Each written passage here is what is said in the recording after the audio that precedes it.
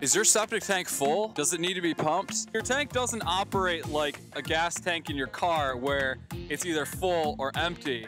It more acts as a trap for solids. It needs to be pumped when the scum layer on the top and the sludge layer on the bottom get too thick and it begins to force solids out of your outlet pipe into your drain area. That's why we recommend pumping every three years. Keep your tank clean.